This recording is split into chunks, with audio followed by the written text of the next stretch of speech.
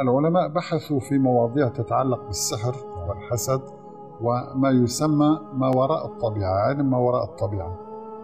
فوجدوا شيء غريب فعلا أن الإنسان كل إنسان هناك موجات كهرطيسية يصدرها من دماغه باستمرار.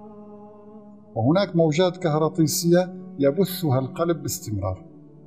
وتمكنوا مؤخرا في عام 2017 من إحداث تواصل بين شخصين من دون الكلام بمجرد هذه الموجات لأن الموجات الكهربائية يستطيع الكمبيوتر من خلال جهاز خاص أن يقرأها ويظهرها وبالتالي أنت عندما تفكر بأي شيء فإن دماغك وهو يعمل يبث هذه الموجات.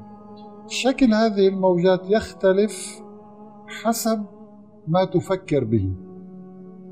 وأسوأ أنواع هذه الموجات عندما تفكر أنت بأن النعمة ينبغي أن تزول عن هذا الشخص وأن هذه النعمة تكون لك فإن هذه الموجات تؤثر على هذا الشخص هذا علميا. وبالتالي حتى هم يقولون ينبغي على الإنسان ألا يتمنى زوال النعمة عن غيره أو يتمنى الشر لغيره لأنه سيصيبه بأثر ما من خلال هذه الموجات التي يفهمها دماغ الآخر. والموجات التي يطلقها القلب تؤثر على قلوب الآخرين.